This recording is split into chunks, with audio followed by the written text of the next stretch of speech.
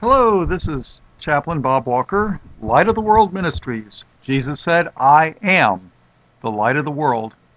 He that followeth me shall not walk in darkness, but shall have the light of life. Today's Bible study is going to be on Elijah. That's E L I J A H. He was an Old Testament prophet. Matter of fact, his life to me is uh, just one of the most interesting in the whole Bible. Um, Elijah was, uh, it's just, I don't know. To me, it's, it's, he was an incredible prophet. And we might actually get to see him before we leave this earth. All right, I'm going to kind of gloss over a lot of stuff because you could make this a two-hour study easily, um, maybe even longer. I don't know. Elijah did a lot of stuff. All right, in 1 Kings 17, chapter 17 and verse 1, and Elijah the Tishbite, who was of the inhabitants of Gilead, said unto Ahab, now that's King Ahab, by the way. And he says, As the Lord God of Israel liveth, before whom I stand, there shall not be dew nor rain these years, but according to my word. So there was, um, Elijah went to King Ahab. And for those of you that don't know it, there's a verse in the Bible where King Ahab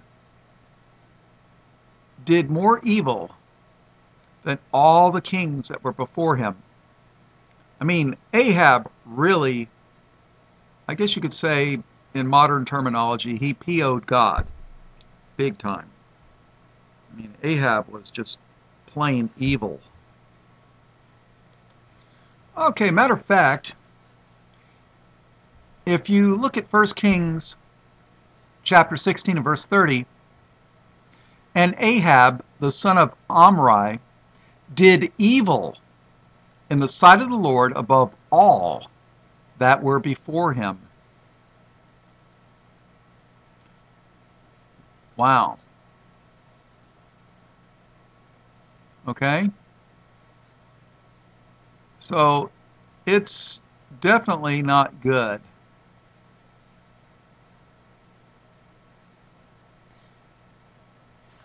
All right, so let's continue with Elijah. So Elijah's con, um, confronting this evil king Ahab. Okay? And let's continue. All right, so Ahab spoke as the Lord commanded him to, and there was to be a drought in Israel. Okay? And Elijah met a, a woman, and she had a little bit of oil and a little bit of flour left. I think she was a widow. And you can read about this in verse 13, 1 Kings 17, verse 13. So here is there's a big drought, there's no there's no wheat, you know. And this woman's getting ready to make her last cake. Not not cake as we know it, but um, like a piece of bread, a cake of bread, okay? If you look up the word cake, it doesn't necessarily mean dessert, okay? Um, back in the older days, um, it was kind of like a cracker, okay? So here it is, he goes, Elijah's talking to the woman. And Elijah said unto her, Fear not, go and do as thou hast said, but make me thereof a little cake first, and bring it unto me, and after make for thee and thy son. Okay? Verse 15. And she went and did according to the saying of Elijah, and she and he and her house did eat many days. Okay? So this woman had just a little bit of food, not even enough for her and her son, but she made a cake of bread for Elijah because she believed he was a prophet of God. And she did as he said, trusting in him and the Lord. And she made him a little piece of bread, brought it to him. Okay? And let's read verse 16. And the barrel of meal wasted not, neither did the cruse of oil fail, according to the word of the Lord which he spake by Elijah. So here it is. There's a drought in Israel. There's no food. And this woman didn't even have enough food for her and her son. And here it is. You got this prophet saying, "Oh, well, make me a little, a little tiny cake and bring it to me first. And she did it. And her uh, her ba- uh, barrel of of wheat wheat meal never went empty. And the container of I guess it was olive oil it never went dry. Isn't that something? Now, two verses later, the woman's son, he dies. Okay? Okay, uh, 1 Kings 17 17. And it came to pass after these days that the son of the woman, the mistress of the house, fell sick, and his sickness was so sore that there was no breath left in him. He quit breathing, okay? He died. And she said unto Elijah, What have I to do with thee, O thou man of God? Art thou come unto me to call my sin to remembrance, and to slay my son? See, this is something the Lord likes to hear from us. That we acknowledge that we have sin. Okay? Now, once you become the Lord's, you should try to get sin out of your life as much as possible. Um, I don't know. I mean, none of us are ever going to reach sinless perfection in the flesh. But as much as possible, we should li- try to live a holy and righteous life. Okay, but she, this woman acknowledged that she was a sinner. Okay? So her son died. Her son dies, okay? Now, verse 19. And he, Elijah, said unto her, Give me thy son. And he took him out of her bosom and carried him up into a loft, where he abode, and laid him upon his own bed. And he cried unto the Lord and said, O Lord my God, Hast thou also brought evil unto the widow with whom I sojourn by slaying her son? Okay? So here it is this woman brought the prophet of God into her house, let him stay with her, fed him, and her son dies. Okay? So she's, you know, a widow, I mean, a widow's widow life was rough. I mean, here it is. She had to take care of the house, take care of a kid, go out into the field, take care of the crops. Okay, a widow's life was rough.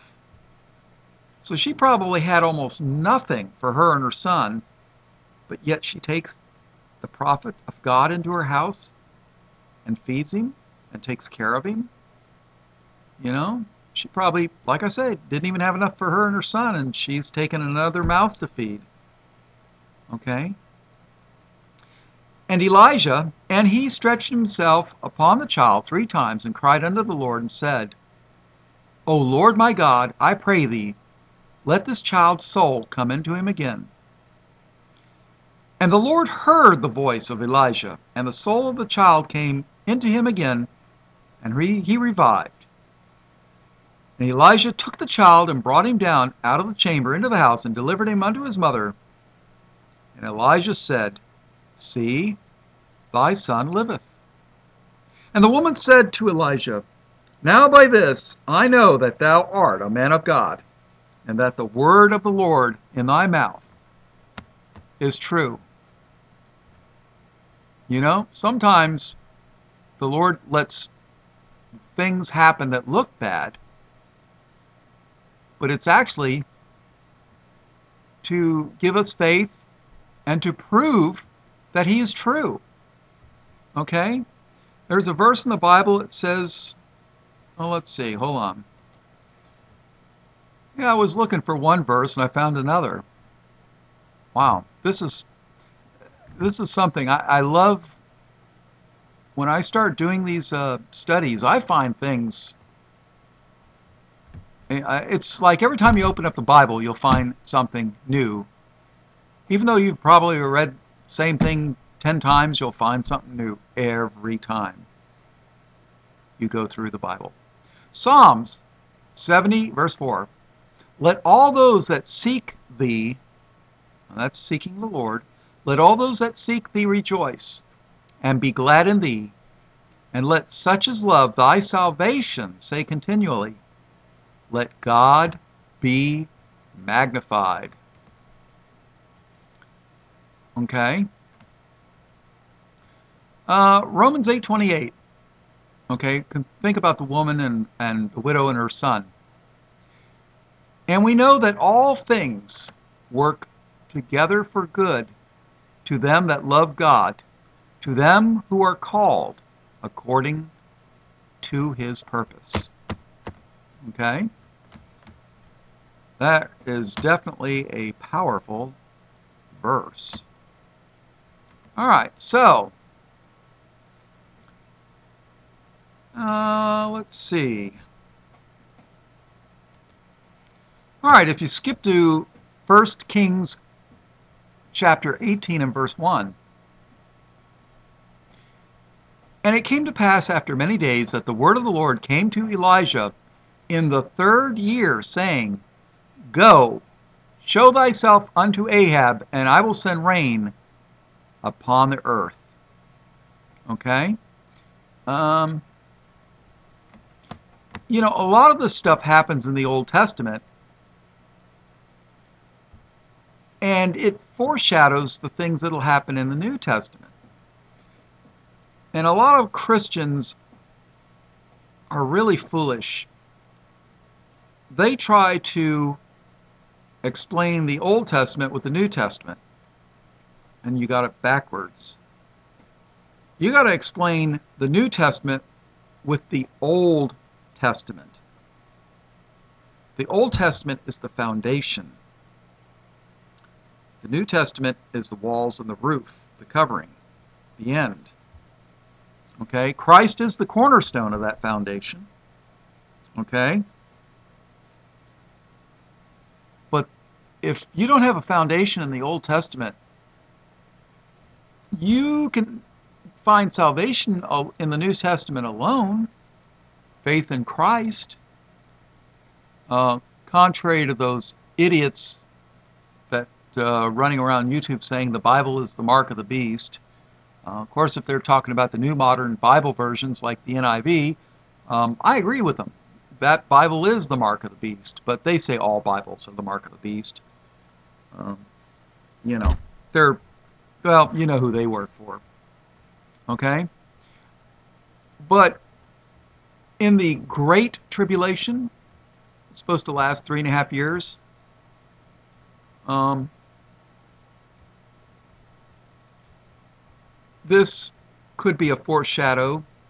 Okay, there was no rain for three years. Okay, can you imagine no crops for three years. Okay. Verse 2 And Elijah went to show himself unto Ahab, and there was a sore famine in Samaria. Now, Samaria is the capital of the northern kingdom of Israel. And, you know, there's a lot of people say, oh, Judah and Israel is the same thing. Uh, they're not. The capital of Judah was Jerusalem. The capital of Israel, the northern kingdom, the ten northern tribes, was Samaria. Okay? They went into apostasy first. Okay? So, all right, let's skip to verse 7. Now, there was a servant of Elijah by the name of Obadiah. I'm not sure, I don't think it was the same Obadiah as in the Bible, uh, the book by that name, the Minor Prophets. But um, Obadiah was searching for some grass and water for the king's horses. All right, verse 7. And as Obadiah was in the way, behold, Elijah met him, and he knew him, and he fell on his face and said, Art thou that, my lord Elijah? And he answered him, I am. Go, tell my, thy Lord, behold, Elijah is here. Okay? So, uh, when you keep reading, um, Obadiah was worried that, you know, he's going to go back and tell the king that Elijah's here. And uh, he was worried that Elijah would take off, then the king would be mad at Obadiah because he either lied to him or, you know, whatever. Okay, verse 14. Uh, let's see. So he says, And now thou sayest, Go tell thy Lord, Behold, Elijah is here, and he shall slay me. And Elijah said, As the Lord of hosts liveth, before whom I stand, I will surely show myself unto him this day.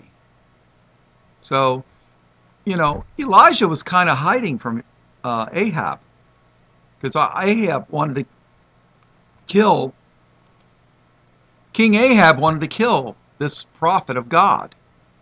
Okay? And this that happened a lot. Matter of fact, the Jews in Jerusalem killed a lot of the prophets too. Okay? I mean, not just Israel, but Judah too. All right, uh, verse 16. So Obadiah went to meet Ahab and told him, and Ahab went to meet Elijah. And it came to pass when Ahab saw Elijah, that Ahab said unto him, Art thou he that troubleth Israel? Okay? So Ahab is blaming the drought and all the problems of Israel on Elijah. Next verse. And he, Elijah, answered and says, I have not troubled Israel, but thou and thy father's house, in that ye have forsaken the commandments of the Lord, and thou hast followed Baalim. Uh, Baalim's a um, Baal or uh, Baal, B A A L, is a word. It means Lord, and it used to be a, a name for the God of Israel, but it became so commonly used with Satan worship that the Lord actually says not to call him Baal anymore. I mean, that's pretty sad, really, you think about it. All right, if you turn to uh, Hosea, okay, chapter 2, verse 13. And I will visit upon her the days of Baalim, wherein she burned incense to them, and she decked herself in her earrings and her jewels, and she went after her lovers and forgat me, saith the Lord. Okay? Verse 16. And it shall be at that day, saith the Lord, thou uh, that thou shalt call me Ishi, and shalt call me no more Baali. For I will take away the names of Baalim out of her mouth, and they shall no more be remembered by their name. Okay, so Baal, Baali, Baalim, um, just another way of saying Satan. Not good at all. Okay? So Ahab was into Baal worship, which is it's modern day Satanism. Okay? Which is very prevalent. Matter of fact, I was into the um, New Age movement for a while. And it's sort of kind of baby Satanism. I mean, a lot of the adherents to the New Age, they don't see it that way until they get deep into it. Okay? It's kind of like taking baby steps, you know. Um, because that's what Satan will do. He'll give you some baby steps until you get comfortable with that, and then he'll give you more and more and more until you're sacrificing your children on an altar to Satan. It's horrid, but you know, today they've got all these movies out, TV shows about dragons and vampires and good witches fighting bad witches and Harry Potter and you know it's just it's amazing. Honestly I I think there are more a lot more people into witchcraft than there are true Christians in this world right now. Uh, that's my opinion. I could be wrong but um, it's pretty crazy all right. So here it is. Elijah has come back to face Ahab, who was King Ahab was trying to kill Elijah. Okay? And he is going to issue a challenge, an ultimatum to all of Israel and to the king of Israel, which is Ahab.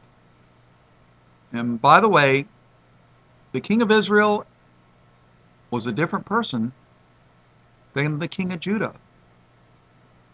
Okay, they actually fought wars against each other. I know the modern church says Israel and Judah, Jews and Israel is the same thing, but they're, they weren't not in the book of Kings. And uh, most churches will actually tell you, oh, don't read the Old Testament it, it, that it's a waste of time. Uh, that book's for the Jews. It's not for you. We're Christians. We're New Testament Christians. Don't read the, the Old Testament book. That's for the Jews. I've actually had them tell me that. And I say that with a southern accent because I, uh, I actually moved to Tennessee to be with a church. And I had a pastor actually tell me almost that exact same thing wasn't long before I left, but uh, or did they throw me out? I I don't remember, but uh, all right. Let's see what we got now. The Elijah Elijah challenges the prophets of the priests of Baal, those people worshiping Satan. All right, so 1 Kings 18:19 Elijah says to King Ahab, king of Israel, Now therefore send and gather to me all Israel unto Mount Carmel. Okay?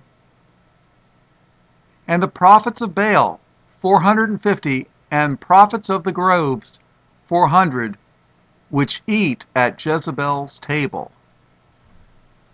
So the prophets of this Satanism, were 450.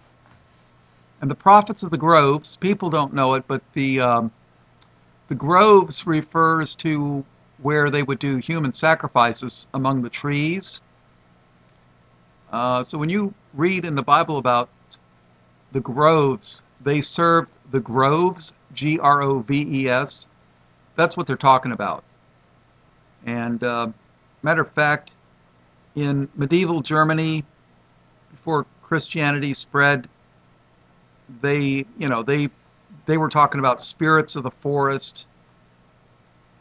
So this is actually a very, very old concept. Okay? And Jezebel was Ahab's wife, Queen Jezebel. Okay? So, Ahab sent unto all the children of Israel. Now, obviously, all here is a figure of speech because you're not going to have uh, a million people hanging out at this place. So, you know, sometimes all means all, but sometimes all is a figure of speech. Okay? So Ahab sent unto all the children of Israel and gathered the prophets together unto Mount Carmel. And Elijah came unto all the people and said, How long halt ye between two opinions? If the Lord be God, follow him.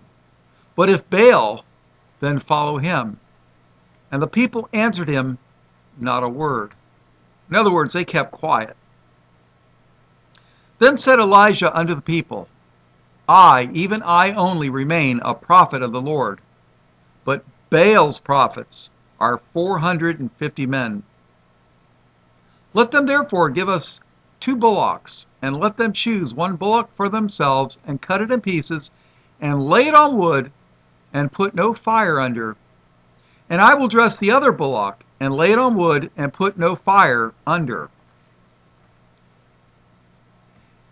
And call ye on the name of your gods. Okay? And I will call on the name of the Lord, and the God that answer, answereth by fire, let him be God. And all the people answered and said, It is well spoken.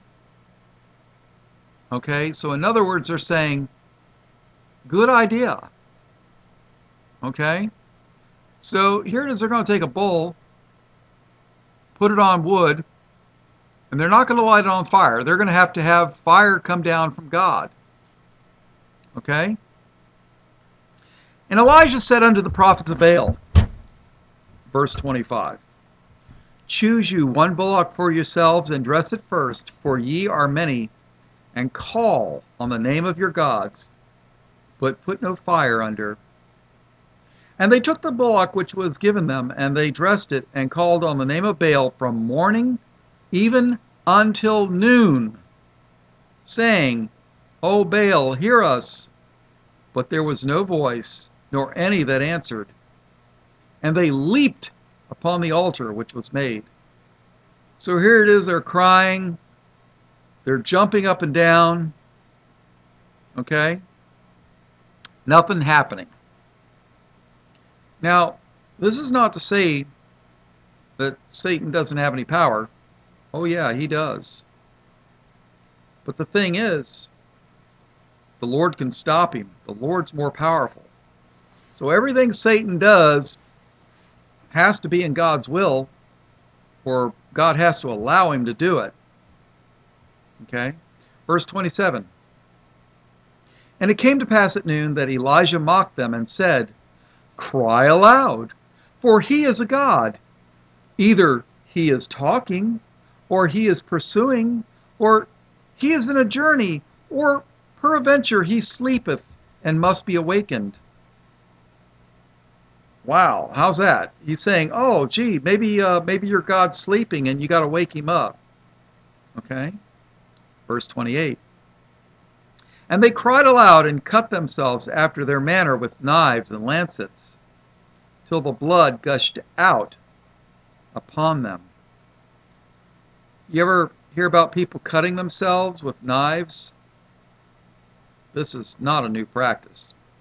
It has to do with Satanism. So, if any of you parents got a kid that cuts themselves, you got a problem.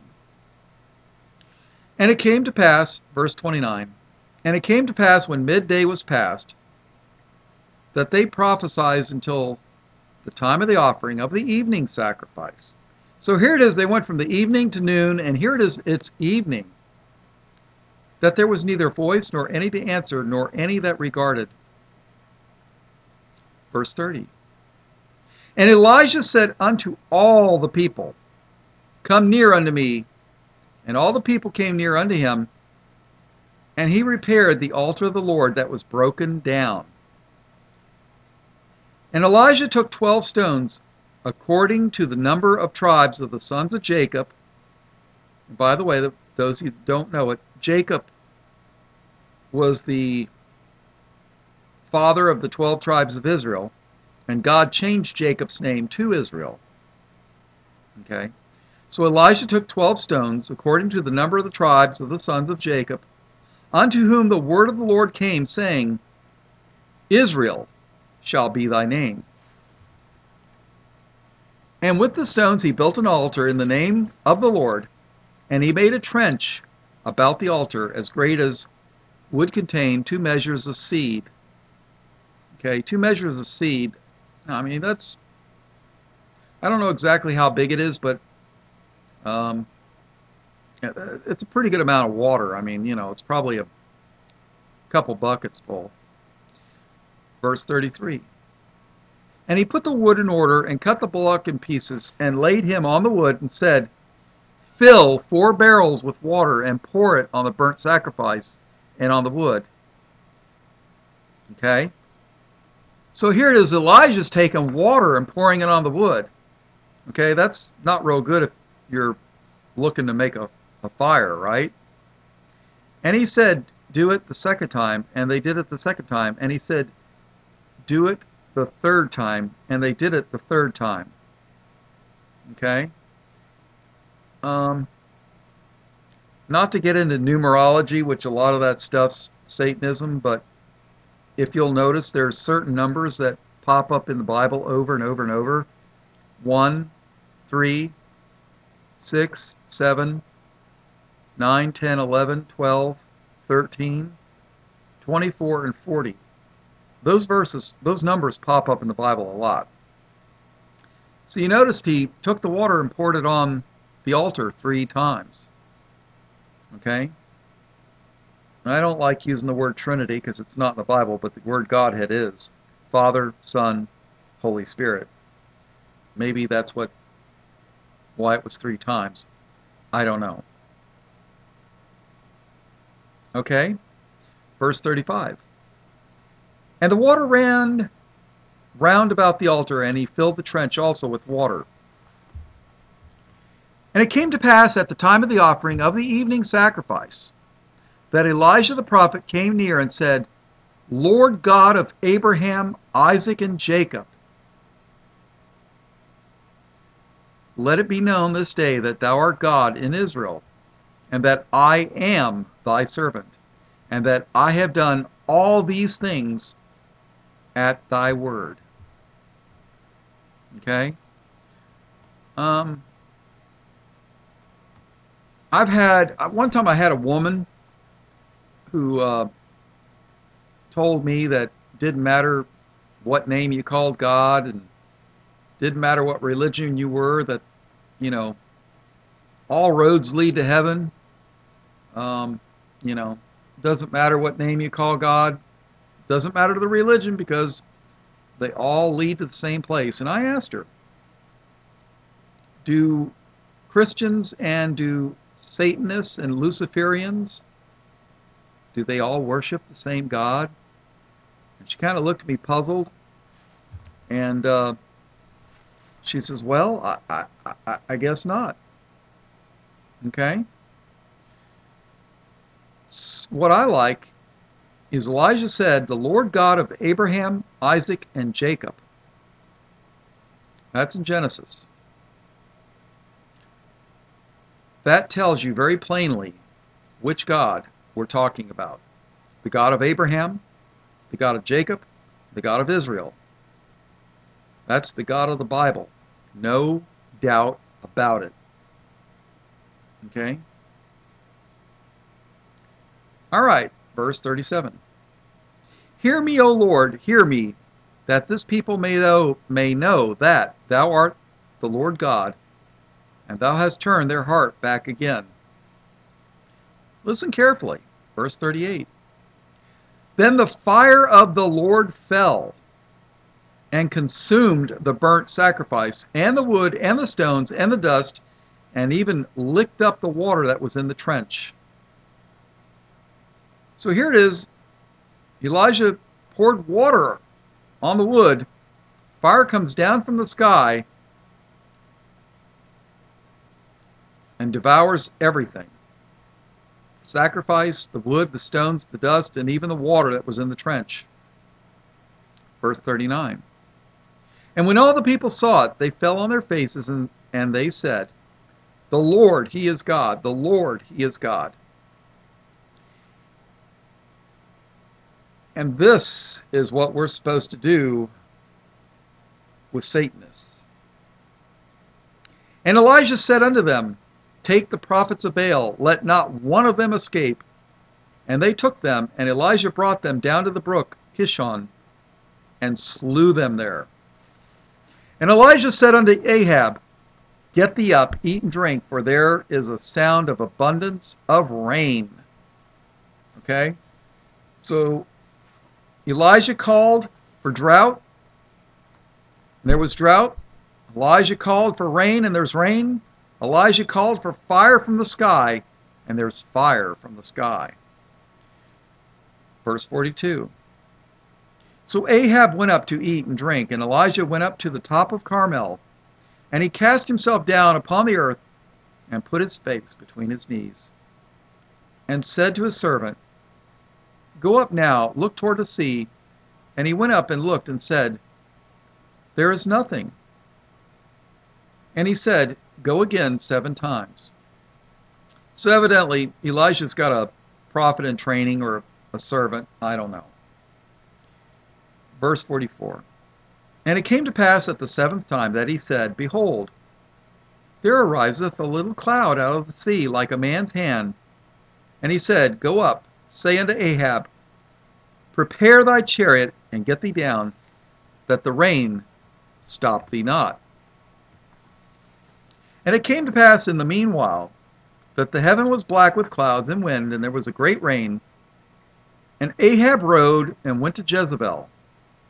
And the hand of the Lord was on Elijah, and he girded up his loins and ran before Ahab to the entrance of Jezreel. Okay?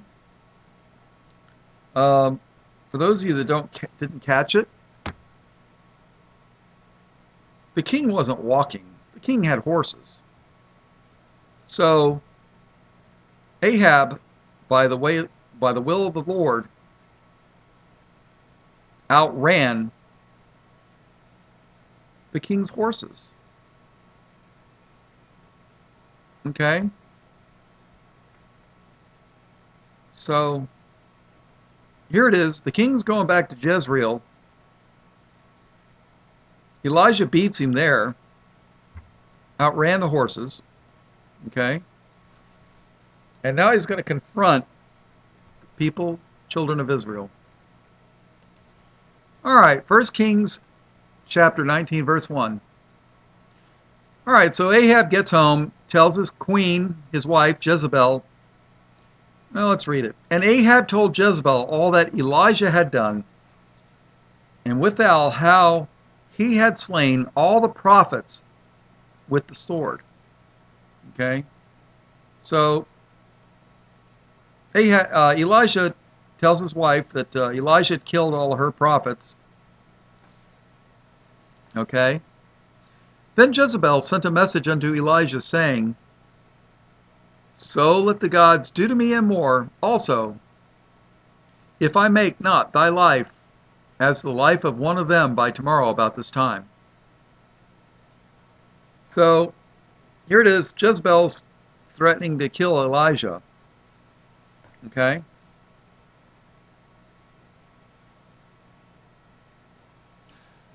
All right, skip to verse 9. And he came thither unto a cave and lodged there, and behold, the word of the Lord came to him, and he said to him, What doest thou here, Elijah? Okay. Lord's asking, What are you doing? Well, let's back up a little bit. All right, so Elijah, uh, Jezebel threatens Elijah. Okay, verse 3. And when he saw that, he arose and went for his life. So he's running for his life. And came to Beersheba, which belongeth to Judah, and left his servant there. So here it is uh, Elijah leaves Israel, goes to Judah, which are not the same, contrary to what the churches teach. Okay? Because Ahab was king of Israel, not king of Judah. All right? Verse 4 But he himself went a day's journey into the wilderness, and came and sat down under a juniper tree. And he requested for himself that he might die, and said, It is enough. Now, O Lord, take away my life, for I am not better than my fathers. And as he lay and slept under a juniper tree, behold, then an angel touched him, and said unto him, Arise and eat. You ever heard of Touched by an Angel? That's an old TV show, but this is the real deal. And he looked, and behold, there was a cake baken on the coals, and a cruse of water at his head. And he did eat and drink, and laid him down again. Okay? Um, there's probably none of you that are clinical psychologists. I'm not either. But here it is. He wants to die. And he's sleeping. This is a sign of depression. Elijah was depressed. Because I what I think he was depressed about is he showed great things unto the children of Israel. The people acknowledged the Lord God as God, but where was the revival? You know, people look at it, it's a show, and the next day nothing's changed. Okay?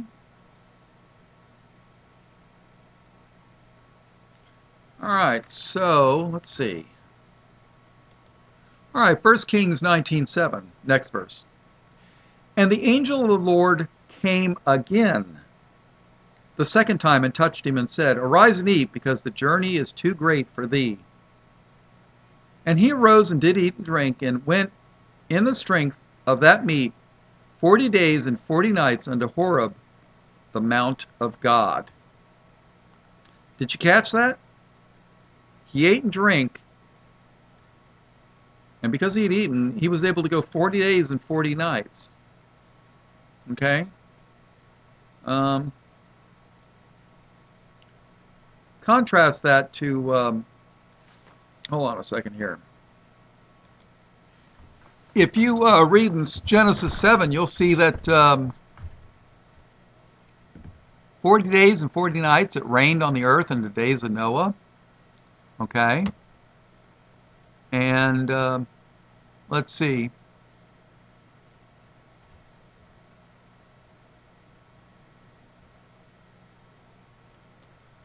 If you read in Deuteronomy um, chapter 9, Moses fell down 40 days and 40 nights to plead for the children of Israel because God was going to destroy them because they'd gotten into idolatry with Aaron so quick. Okay? Um, uh, remember I told you 40 pops up a lot? Well, here it is again. Um, in the book of Jonah, Jonah warned the king of Nineveh that in 40 days that Nineveh would be overthrown, and they fasted. Okay. In Matthew 4, verse 2, um, Jesus fasted for 40 days and 40 nights. Okay. And uh, if you read Mark 1, when uh, he was in the wilderness 40 days, he was tempted of Satan. Okay? And, um, yeah, so, you know, 40 pops up over and over and over and over and over. All right, so Elijah went in from the strength of that meal for 40 days and 40 nights unto Horeb, the Mount of God. And he came thither unto a cave, and lodged there, and behold, the word of the Lord came to him, and he said unto him, What doest thou here, Elijah? Elijah, what are you doing? Verse 10 And he said, I have been very jealous for the Lord God of hosts, for the children of Israel have forsaken thy covenant. Okay? Remember that. There's people running around like, um, oh, that big fat guy out in uh, San Antonio, Texas. Um, says God's God made a covenant with the Jews, and uh, doesn't matter what the Jews do, they're going to be saved even without Jesus. Um, I think you know who I'm talking about. But the thing is, the children of Israel had forsaken the covenant of God. God had made a covenant with them. A covenant is a contract. Okay? God kept his end of the bargain. But the children of Israel didn't keep their part of the bargain. A contract is a two way street. When you go to buy a car, the car dealer says, hey, you pay us for this car, we give you the car. Okay?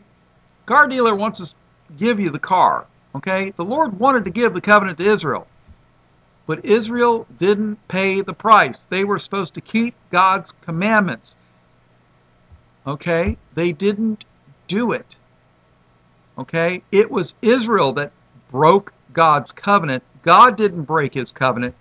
The children of Israel broke the covenant, the contract. Okay? All right. And he said, I have been very jealous for the Lord God of, of hosts, for the children of Israel have forsaken thy covenant, thrown down thine altars. Okay? They took the altars of God and they destroyed them, and slain thy prophets with the sword. These people killed the prophets of God. And I, even I only, am left, and they seek my life to take it away. Okay? Elijah thinks he's the last and only one. He's depressed. And he said, The Lord, Go forth and stand upon the mount before the Lord, and behold, the Lord passeth by. And with a great and strong wind rent the mountains and brake in pieces the rocks before the Lord. But the Lord was not in the wind, and after the wind an earthquake. But the Lord was not in the earthquake, and after the earthquake a fire. But the Lord was not in the fire, and after fire after the fire a still small voice. And it was so when Elijah heard it that he wrapped his face in his mantle and went out and stood in the entering in of the cave. And behold, there came a voice unto him and said, What doest thou here, Elijah? And he said, I have been very jealous for the Lord of hosts, because the children of Israel have forsaken thy covenant, thrown down thine altars, and slain thy prophets with the sword. And I, even I only, am left and they seek my life to take it away. And the Lord said unto him, Go, return on thy way to the wilderness of Damascus, Syria. Okay, Damascus. And when thou comest, anoint Hazael to be king over Syria. And Jehu, the son of Nimshi, shalt thou appoint to be king over Israel. And Elisha, E L I S H A, not Elijah, Elisha, the son of Shaphat of Abimelech, Abel, A B E L M E H O L A N, shalt thou anoint to be prophet in thy stead. So Hazael is going to be king of Syria. Jehu is going to become king of Israel. I guess he's going, he's going to depose Ahab. And Elisha, Elisha, E L I S H A, is going to be the prophet instead of Elijah. eh, it gets a little confusing. Verse 17 And it shall come to pass that him that escapeth by the sword, uh, that escapeth the sword of Hazael, shall Jehu slay, and him, him that escapeth from the sword of Jehu shall Elisha slay. All right, so the king of Syria is going to go to Israel and kill, go to war. And those that escape that, the new king Jehu is going to slay, kill. And those that escape those two things, the new prophet is going to kill them. Verse 18 Yet I have left me 7,000 in Israel. Okay, out of the millions in Israel, there's only 7,000. Yet I have left me 7,000 in Israel, all the knees which have not bowed unto Baal, and every mouth which hath not kissed him. Wow. So he departed thence and found Elisha, the son of Shaphat, who was plowing with twelve yoke of oxen before him, and he with the twelve, and Elijah passed by him and cast his mantle upon him. Now the mantle was like a, uh, I don't know exactly how to put it. It's sort of like a, it's a piece of clothing that you wear around your shoulders and it was the clothing of a prophet. All right, so Elisha, and he left the oxen and ran after Elijah and said, Let me, I pray thee, kiss my father and my mother, and then I will follow thee. And he said unto him, Go back again, for what have I to do to thee? And he returned back from him, and took a yoke of oxen, and slew them, and boiled their flesh for the instruments with the instruments of the oxen, and gave unto the people, and they did eat. Then he arose and went after Elijah, and ministered unto him. How's this for burning your bridges? He took the yoke of oxen that he used for plowing the, the field for his family, killed them, cooked them, and cooked them with the uh, the plow, the wood of the plow. I mean, that's that's what you call burning your bridges, right? All right, so let's go to chapter 20. All right, let's go to the next one. All right, if you uh, skip along, you could read the next couple chapters of First Kings, and you could read about Jezebel and the wars that Israel had with Syria. Okay? Now, you turn to Second Kings chapter 1 and First chapter 1. All right, so there's a battle. Ahab gets killed in the battle. And we read, Then Moab rebelled against Israel after the death of Ahab. And Ahaziah fell down through a lattice in his upper chamber that was in Samaria and was sick. And he sent messengers and said unto them, Go, inquire of Beelzebub, the god of Ekron, whether I shall recover of this disease. Um, remember when the Jews told Jesus that uh, he cast out demons by Beelzebub? Well, this is who they're talking about the god of Ekron. But the angel of the Lord said, un, said to Elijah the Tishbite, Arise, go up to meet the messengers of the king of Samaria, and say unto them, Is it not because there is not a God in Israel that ye go to inquire of Beelzebub, the god of Ekron? Now therefore thus saith the Lord, Thou shalt not come down from that bed on which thou art gone up. but shall surely die. And Elijah departed. And when the messengers turned back unto him, he said unto them, Why are ye now turned back? They're talking about the king here, you know. And they said unto him, There came a man up to meet us, and said unto us, Go, turn again unto the king that sent you, and say unto him, Thus saith the Lord, Is it not because there is not a God in Israel, that thou sendest to inquire of Beelzebub, the god of Ekron? Therefore thou shalt not come down from that bed on which thou art gone up, but shalt surely die.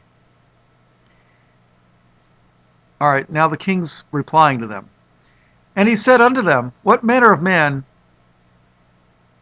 was he which came up to meet you and told you these words?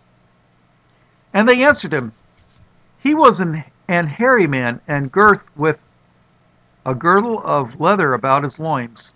And he said, It is Elijah the Tishbite. And the king sent unto him a captain of fifty with his fifty Okay? So here it is. The king sends, sends a, a, a troop of 50 people after this guy, his, you know, captain of his army. Let's continue. And he went up to him, and behold, he sat on the top of an hill, and he spake unto him, Thou man of God, the king hath said, Come down. And Elijah answered and said to the captain of fifty, if I be a man of God? Uh, well, before I continue, um,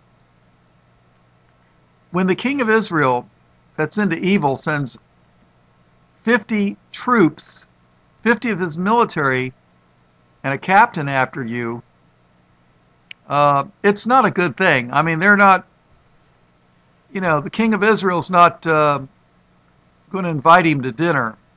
Okay? They're trying to capture him, possibly kill him. Okay?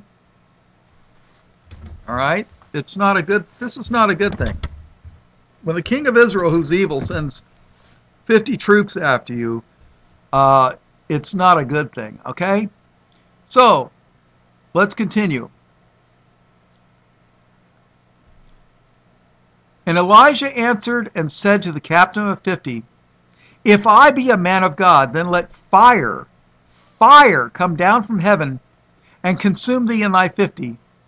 And there came down fire from heaven and consumed him and his fifty. Again also, he, the king of Israel, sent unto him another captain of fifty with his fifty. And he answered and said unto him, O man of God, thus hath the king said, Come down quickly. And Elijah answered and said unto him, If I be a man of God, let fire come down from heaven, and consume thee and thy fifty. And the fire of God came down from heaven, and consumed him and his fifty.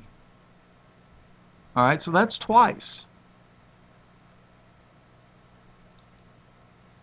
And he sent again a captain of the third fifty with his fifty. And the third captain of 50 went up and came and fell on his knees before Elijah and besought him and said unto him, O man of God, I pray thee, let my life and the life of these fifty thy servants be precious in thy sight. Behold, there came down fire from heaven and burnt up the two captains of the former fifties with their fifties. Therefore, let my life now be precious in thy sight. And the angel of the Lord came unto Elijah.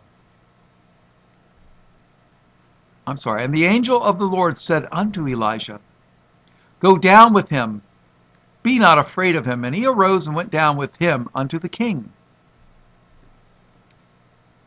And he said unto him, Thus saith the Lord, Forasmuch as thou hast sent messengers to inquire of Beelzebub, the god of Ekron, is it not because there is no God in Israel to inquire of his word? Therefore thou shalt not come down off that bed on which thou art gone up, but shall surely die. So he died according to the word of the Lord which Elijah had spoken And Jehoram reigned in his stead in the second year of Jehoram, the son of Jehoshaphat, king of Judah, because he had no son. Okay. So, the point I'm trying to make here is Elijah could call down fire from the sky and burn up those that wanted to kill him. All right? I want you to think about that for a second. You know, in uh, the book of Luke, 9th chapter 54, we read this of uh, Jesus' disciples. And when his disciples, James and John, saw this, all right, they came from a city, right, that or town that uh, basically didn't want to hear them and kicked them out, okay? And when his disciples, James and John, saw this, they said, Lord, wilt thou that we command fire to come down from heaven and consume them, even as Elias did? Okay? And uh, Jesus rebuked them, basically, and, you know, he says, you know, you don't know what manner of man I am, you know. But they knew full well that they could command fire to come down from the sky. Okay? Now remember something. Sodom and Gomorrah were it rained down fire and destroyed them. Right?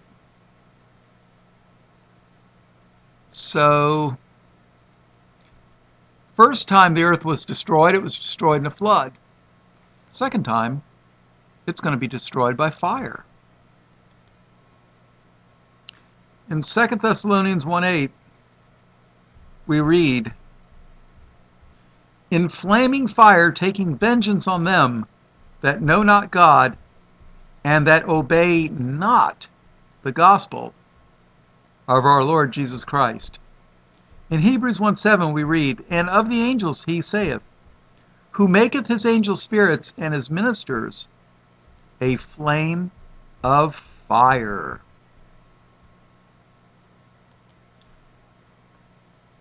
Um, a lot of people don't know it, but Elijah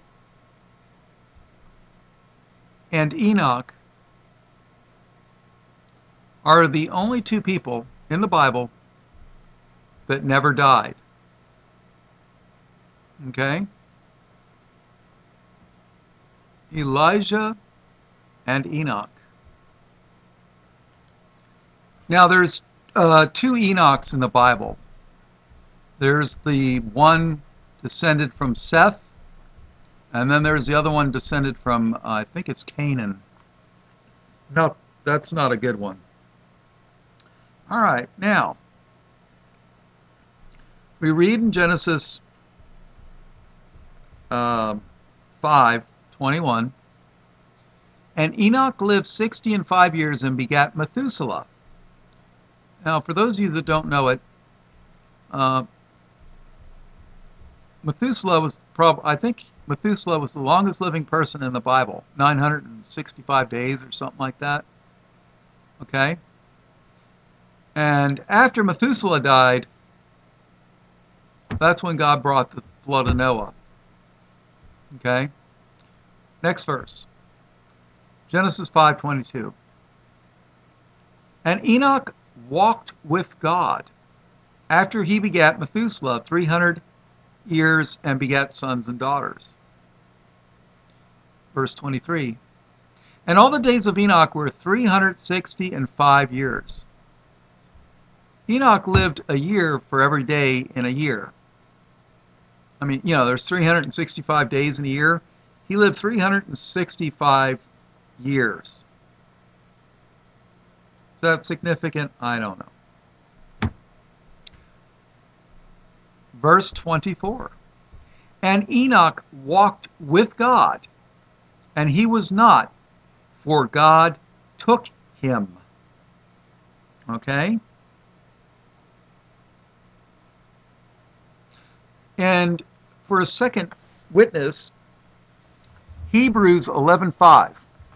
By faith Enoch was translated that he should not see death and was not found because God had translated him for, but for before his translation he had this testimony that he pleased God.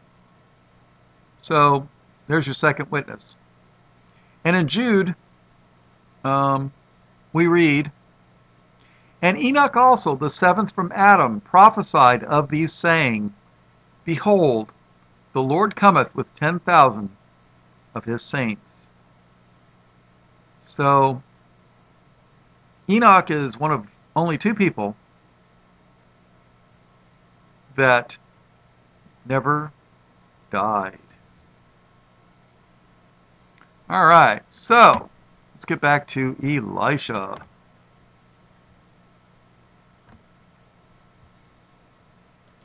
All right, go to Second Kings chapter 2. And, you know, when I was in Bible college, um, I had to do at least one report on any Bible character I wanted. And this is who I picked. I picked Elijah. Um, you know, a lot of people would have picked Jesus, but for me, Elijah was just um, really, really interesting character. All right. And it came to pass when the Lord would take up Elijah into heaven by a whirlwind that Elijah went with Elisha from Gilgal. Okay? So Elijah's got a student, a prophet in training. I'm going to call him Elisha. So you got Elijah and Elisha. Okay? And Elijah said unto Elisha, Tarry here. I pray here. Tarry means wait. For the Lord hath sent me to Bethel and uh, Beth means house. El, Bethel means house of God. And Elisha said unto him, As the Lord liveth, and as thy soul liveth, I will not leave thee. So they went down to Bethel. So here it is Elijah told him to wait, and Elisha says, Nope, I'm going with you, buddy. I'm not going to leave you or you're not going to leave me. I'm going with you. So they go down to Bethel, house of God. And the sons of the prophets that were at Bethel came forth to Elisha and said unto him, Knowest thou that the Lord will take away thy master from thy head today? And he said, Yea, I know it. Hold your peace. In modern English, that would be, Yeah, yeah, I know. Keep quiet. And Elijah said unto him, Elisha, tarry here, I pray thee, for the Lord hath sent me to Jericho. And he said, As the Lord liveth, and as thy soul liveth, I will not leave thee. So they came to Jericho. And the sons of the prophets that were at Jericho came to Elisha, and said unto him, Knowest thou that the Lord will take away thy master from thy head today? And he answered, Yea, I know it. Hold your peace. And Elijah said unto him, Tarry, I pray thee, here, for the Lord hath sent me to Jordan. And he said, As the Lord liveth, and as thy soul liveth, I will not leave thee. And they too went on. And fifty men of the sons of the prophets went and stood to view afar off, and the two stood by Jordan. And Elijah took his mantle that was the uh, clothing of a of, of a prophet, a mantle. Okay.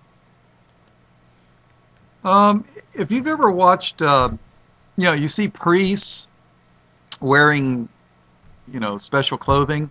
Well, that's what a mantle was. It was a uh, type of a cloak, an outer garment, and uh, it, you know, it would make mark a man that as being a prophet of the Lord you know, life of a prophet was not an easy life. You know, they didn't live in the king's palace. Um, when the world was doing evil, the prophet would tell everybody that, you know, God's judgment's coming. Prophets were never, never very popular. Matter of fact, the Bible even records how um, how the Jews had killed all their prophets. You know, and um, you know, seriously, the Jews killed almost all their prophets. You know, I mean, they had Jesus killed too. So, you know, what can I tell you? All right, so let's continue. All right, so um, and Elijah took his mantle and wrapped it together, and smote. He struck the waters, smote the waters, and they were divided hither and thither, hither and thither, so that they too went over on dry ground.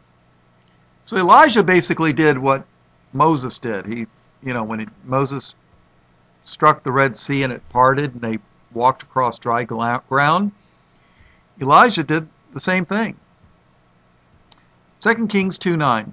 And it came to pass when they were gone over that Elijah said unto Elisha, Ask, what shall I do for thee, before I be taken away from thee? So here it is the prophet's asking his student, What can I do for you?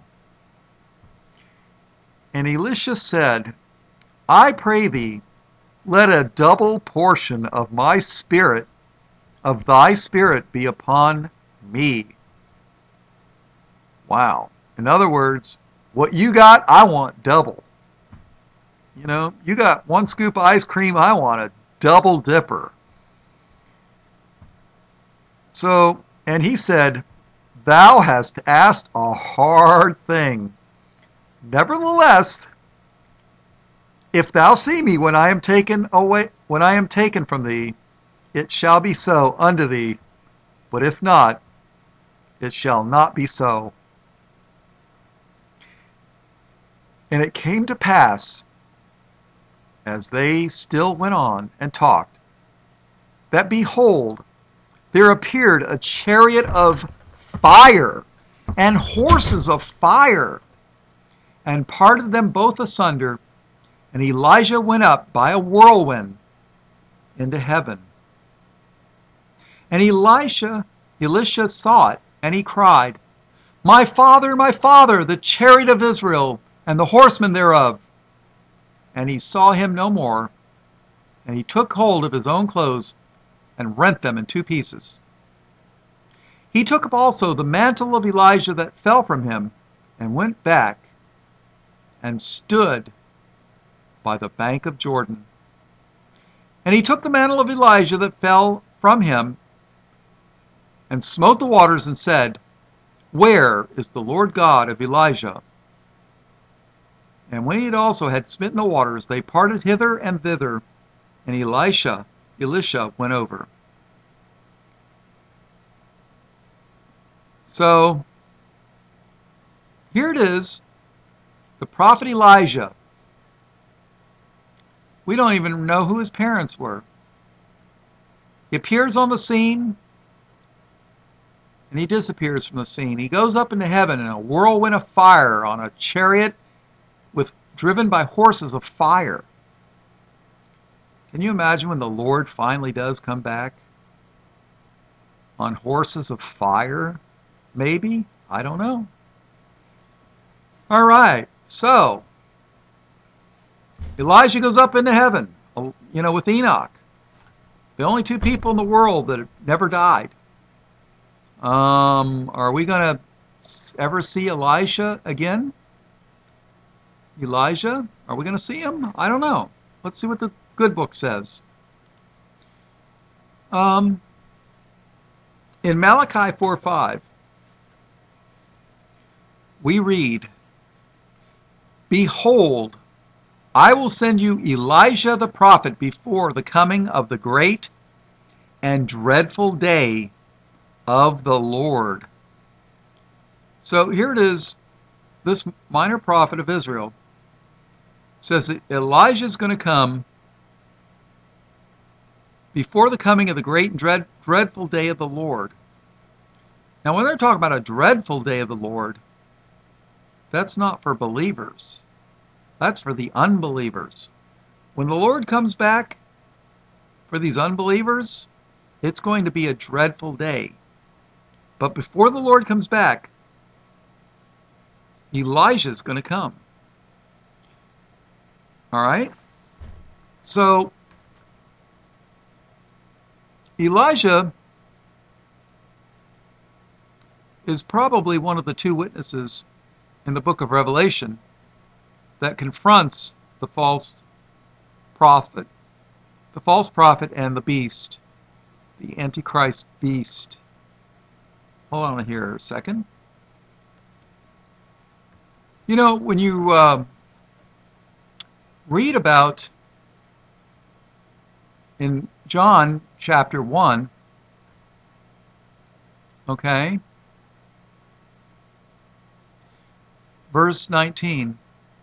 And this is the record of John when the Jews sent priests and Levites from Jerusalem to ask him, Who art thou? Okay, the Jews send priests and Levites from Jerusalem, and they're asking him, Who are you? And he confessed and denied not, but confessed, I am not the Christ. Okay?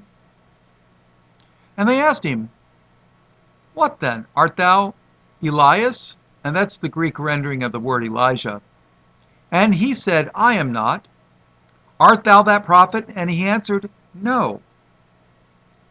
Then said they unto him, Who art thou? that we may give an answer to them that sent us. What sayest thou of thyself? And John said, and he said, I am the voice of one crying in the wilderness, make straight the way of the Lord, as said the prophet Esaias. So here it is, John was the voice of one crying in the wilderness. Okay? So, what did Jesus have to say about John the Baptist? All right, you know what Jesus said about John the Baptist in Matthew 11 11? Verily I say unto you, among them that are born of women, there hath not risen a greater than John the Baptist. Notwithstanding, he that is least in the kingdom of heaven is greater than he. Okay? If you want to read something interesting, go to Matthew 17. Okay? Um, all right. Jesus took Peter, James, and John and went to a mountain and was transfigured before them. And then in verse 3 And behold, there appeared unto them Moses and Elias talking with them. Okay? So here it is Moses and Elijah appeared before Jesus. Now, Moses was a, of the tribe of Levi, he was of the priest tribe. He represented the law. You know, Moses got the Ten Commandments, the law. And Elijah, well, it's rendered Elias, but that's the Greek rendering of Elijah. He represented the prophets. So you had the law and the prophets, okay? And uh, make uh, let's keep going, okay? Verse 9. And okay, then uh, after you know Jesus is there with the Moses and Elijah, um, then they are gone. Okay. And as they came down from the mountain, Jesus charged them, saying, Tell the vision to no man until the Son of Man be risen again from the dead. And his disciples asked him, saying, Why then say the scribes that Elias must come first? Okay? So here it is. Elijah did come. Okay? Before the day of, uh, you know, Christ. And Jesus answered and said unto them, Elias truly shall first come and restore all things. But I say unto you that Elias is come already, and they knew him not, but have done unto him whatsoever they listed. Likewise shall also the Son of Man suffer of them.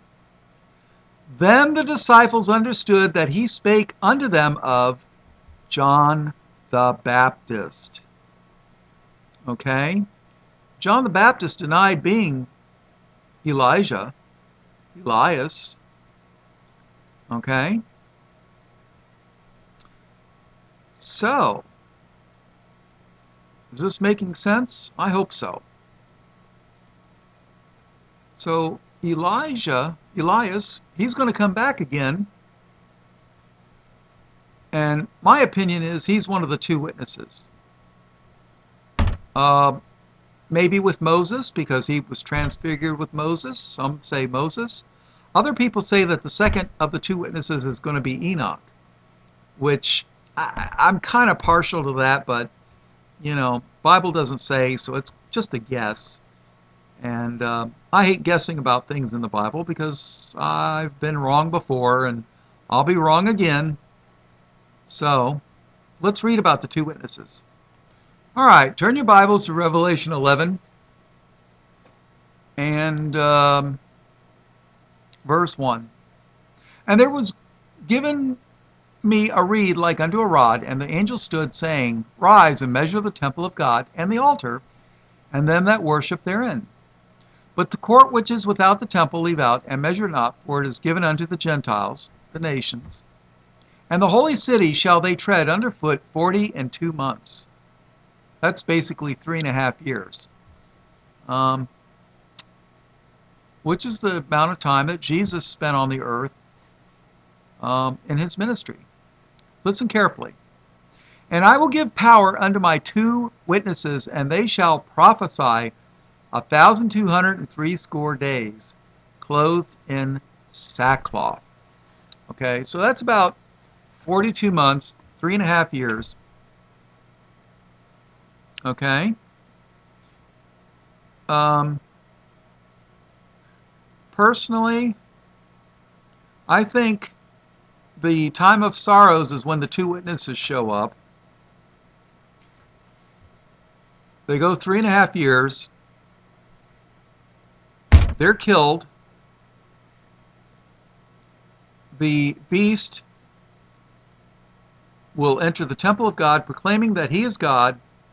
And I believe that is the beginning of the start of the Great Tribulation. You have seven years of tribulation, and then you have the Great Tribulation. Um, if anybody's interested, I could go into this in more detail. I'm sure some of my other studies have gone into this too. Um, but that's my opinion. I believe the two witnesses, um, they're going to smite the earth with a curse, okay? And I will give power unto my two witnesses, and they shall prophesy a thousand two hundred and threescore days, sacked in, clothed in sackcloth. These are the two olive trees and the two candlesticks standing before the God of the earth. And if any man will hurt them, fire, fire proceedeth out of their mouth and devoureth their enemies. And if any man will hurt them, he must in this manner be killed. Okay? So they can open their mouth, bring fire down. Okay? These have power to shut heaven, that it rain not in the days of their prophecy. Remember the days of Ahab? Uh, Elijah said it wouldn't rain, and it didn't. And have power over waters to turn them to blood, and to smite the earth with all plagues as often as they will. All right. And when they, the two witnesses, have finished their testimony, the beast that ascendeth out of the bottomless pit shall make war against them and shall overcome them and kill them. And their dead bodies shall lie in the street of the great city, which spiritually is called Sodom and Egypt. Okay? So these two witnesses shall lie in the street of the great city, which spiritually is called Sodom and Egypt, where also our Lord was crucified. Where was the Lord crucified? You know, everybody wants to make this place out to be uh, Rome, uh, Mecca, Islam, or Istanbul, Turkey. You know, the Bible says that Jerusalem is spiritually called Sodom and Egypt. Okay? That's the Bible, you know, but a lot of people don't care what the Bible says. They just insert their own opinions. I don't do that. I try not to do that. Okay, uh, verse 10. 9, verse 9. And they of the people and kindreds and tongues and nations shall, shall see their dead bodies three days and a half, and shall not suffer or allow their dead bodies to be put in graves. And they that dwell on the earth shall rejoice over them and make merry, and shall send gifts one to another. Sounds like Christmas time, huh? Because these two prophets tormented them that dwell on the earth. And after three days and a half, the Spirit of life from God entered into them, and they stood upon their feet, and great fear fell upon them which saw them. And they heard a great voice from heaven saying unto them, Come up hither. And they ascended up to heaven in a cloud, and their enemies beheld them. Okay? So, these two witnesses, um, I think at least one of them is going to be Enoch. I mean, uh, Elijah. Okay? Uh, because he does all the same things that Elisha does in the Old Testament. So, uh, one more point I'd like to make. Wow, I can't believe this. This Bible study is almost an hour and a half long. Crazy. Wow. All right, verse, uh, go to Revelation 13. You know, 13 is a never, never a good number in the Bible. At least I haven't seen it. Um, Okay, uh, verse 4. And they worshipped the dragon, which gave power unto the beast, and they worshipped the beast, saying, Who is like unto the beast? Who is able to make war with him? And there was given unto him a mouth speaking great things and blasphemies, and power was given unto him to continue forty and two months. There's those three and a half years again. Okay? Um, so in the seven year uh, tribulation, 40 and two months is three and a half years. That's about half of it. So um, I think I think all this happens after the two witnesses. That's my opinion. I could be wrong. Okay, verse 6. And he opened his opened his mouth and blasphemy against God to blaspheme his name and his tabernacle and them that dwell in heaven.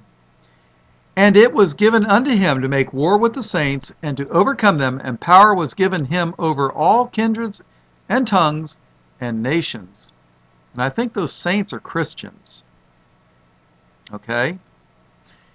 And all that dwell upon the earth shall worship him whose names are not written in the book of life of the Lamb slain from the foundation of the world.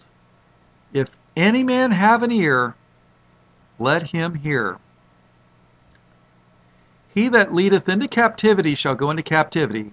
He that killeth with the sword must be killed with the sword.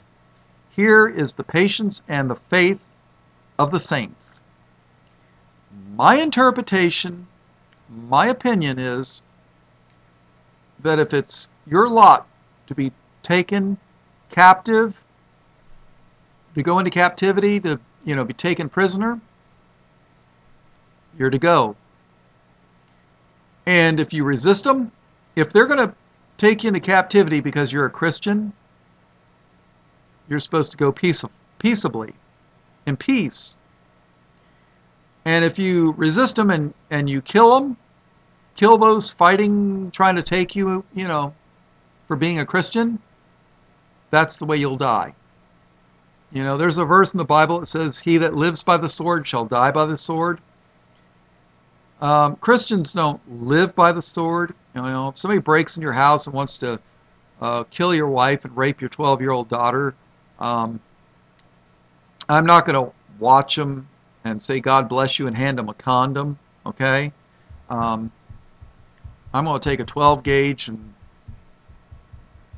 try to blow them into two pieces. I mean, that, that would, you know, but that's just me. Um, okay? But if you're supposed to go into captivity for your testimony of Jesus, you're to go in peace. And you're not to kill people trying to take you. Okay? If they're trying to take you because of Jesus, you go. You don't kill them. Because if you if you shoot them and kill them, they're going to shoot and kill you. Okay, that's that's I believe that is the correct interpretation of that verse. Okay, I could be wrong. Now, if they're just trying to kill you because, um,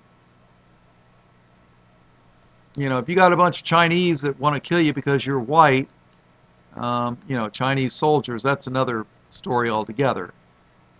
But if they're rounding up Christians as being blas- blasphemers and they want to kill them for your testimony of Jesus, you're supposed to go in peace. Verse 11. And I beheld another beast coming out of the earth, and he had two horns like a lamb, and he spake as a dragon. Um, talk about a wolf in sheep's clothing here.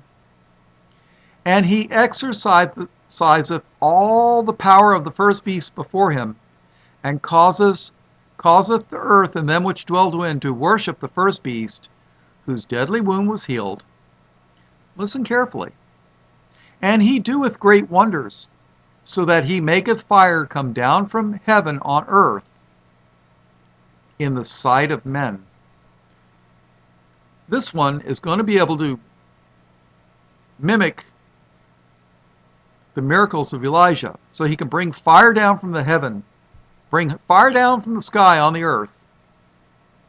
Okay? And deceiveth them that dwell on the earth by the means of those miracles which he had power to do in the sight of the beast, saying to them that dwell on the earth, that they should make an image to the beast, which had the wound by a sword, and did live. And he had power to give life unto the image of the beast, and the, that the image of the beast should both speak and cause that as many as would not worship the image of the beast should be killed. Okay? So, and he causeth all, both great and small, rich and poor, free and bond, to receive a mark in their right hand and on their foreheads, that no man might buy or sell save he that had the mark, or the name of the beast, or the number of his name. Here is wisdom. Let he that hath understanding count the number of the beast, for it is the number of men, and his number is six hundred threescore and six. 666, 666. But everybody should know that. You know, it says the number of a man. Man was created on the sixth day of the week. Okay. Now, this this evil one that does his miracles by the power of the beast and the dragon. You notice he brings fire down from the sky just like Elijah. I know a lot of people are looking at the Pope. A lot of people are looking at uh, Muslims for the Antichrist. This is my opinion. I could be wrong. But I think the Antichrist is going to be a Jew. Just like Jesus picked Judas Iscariot, you know, Judas, okay? Judas Iscariot, you know, he was a Jew. Satan entered into him he betrayed Jesus for 30 pieces of silver. And uh, personally, that's what I think. I, you know, I don't know how Islam, Islam, and uh, the Pope and all that are going to play into this mess, but I think ultimately, the beast shall be a Jew, and his false prophet, the one that brings the fire down from the sky, and does these miracles and wonders and these, you know, these miracles, I bet you that false prophet is going to claim that he's Elijah the prophet. You know, every year when the Jews have their Passover, the, the Bible believing Jews, anyways, they set their table with an extra plate, and they set that for Elijah the prophet, because they know that when he comes, the Messiah shall come. And the Jews have been waiting for their Messiah for, you know, 3,500 or so years, maybe more. Okay?